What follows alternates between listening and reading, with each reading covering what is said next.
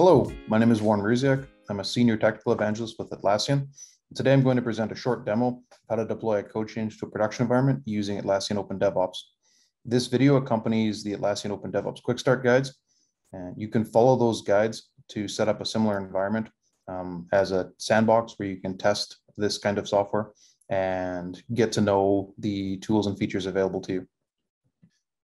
Today, we're going to demonstrate how to push a code change from our terminal out to our development environments and then to our production environments using a combination of Jira and GitHub.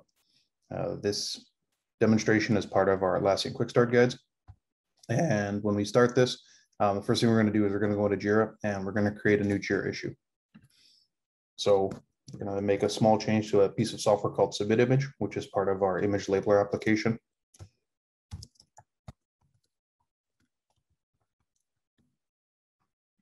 Important piece here is this uh, JIRA issue ID. With this JIRA issue ID, um, we're going to use this in our branch names and our commit messages. And this is how um, the Atlassian GitHub uh, JIRA plugin um, sends information back and forth so that we can track the work we've done in our CLI tools and our code base uh, in JIRA. So we're going to jump over to the terminal now and get started with the code change. So if we take a look at this repository, uh, we have a branch called mainline. We're going to do a new branch.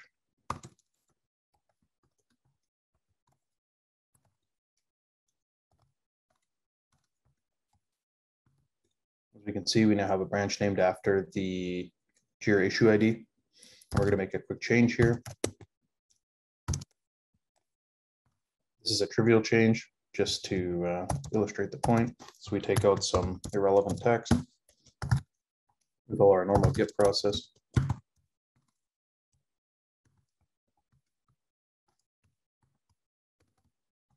The important thing here is to put this uh, Jira issue ID into the commit message. Again, this is how the integration between Jira and GitHub um, tracks all of this.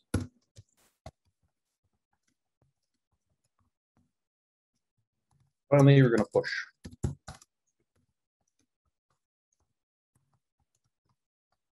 To a remote branch, which we're going to create with this push called IAM15.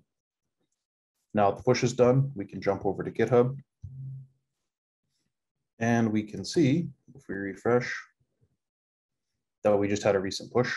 We can take a look at our actions that are running. And we see we have an action running for um, this branch.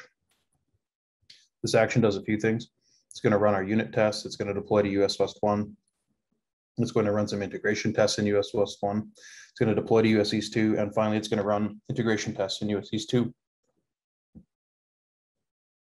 Once this is done, we can um, create a pull request and merge this into production, a mainline branch, and then we'll see another workflow kick off.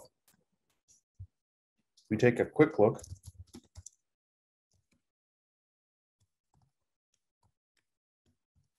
we have two um, GitHub Actions files. In this one, um, basically, we're executing this for all branches except mainline. We can see this on lines four and five here. And what this file does is runs our unit tests and does our deployments and integrations.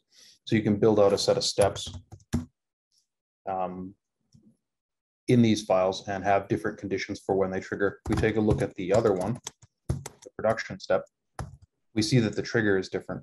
In this case, it's uh, triggers on pull requests into the mainline branch. So you can have different triggers for your different GitHub actions. Now we're just going to wait for this uh, pipeline to commit or complete, and then we'll move on.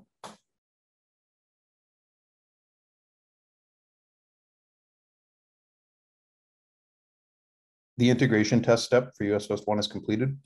So this step um, pulls system tests down from another repository and then executes those system tests against the US West 1 region. Our application is deployed across five regions. Um, we have a test region in US West 1, a staging or QA region in US East 2, and then three production regions in US West 2, US East 1, and CA Central 1.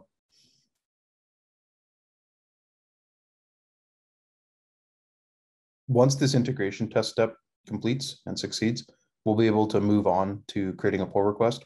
In the meantime, let's take a look at our Jira issue and see the updates the integration has pushed out. So if we take a look in our Jira issue, specifically in this details tab, uh, under development, we see we have some information. We have a branch, a commit, and a build that's incomplete.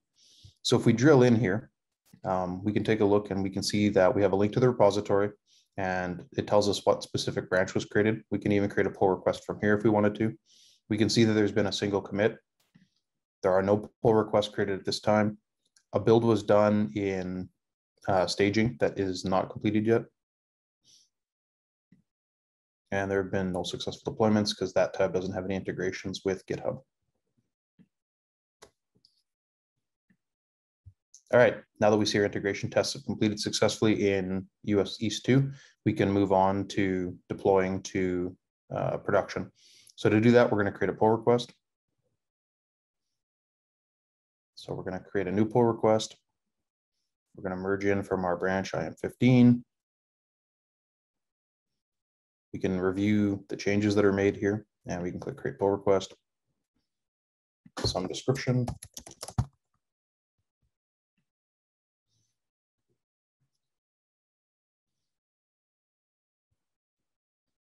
And we can merge our pull request. Once we've merged successfully, we're going to delete our branch. You don't have to do that, it's an option. And we're going to jump back into actions. And we are now seeing a deployment. However, this is a different deployment. This is using our deploy prod um, GitHub action file because the trigger in this file was detected. So we have deploy to US West 2 and then integration test. Then we have deploy to US East 1 and then integration test. And then finally deploy to CA Central 1 and integration test. The actions will not uh, continue past a failed integration test. So if these integration tests fail, we're not going to run the next um, deployment. This lets us basically have some confidence that we can push changes um, kind of quickly and that they'll get caught um, before they have a chance to break anything.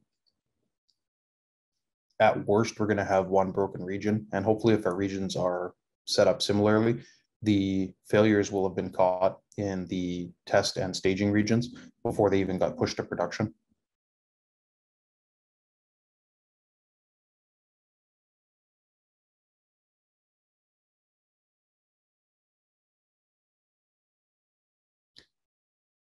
Now that our deployments are all done and we're simply running the last set of integration tests, let's take a jump back over to Jira and take a look at the updates that are made now.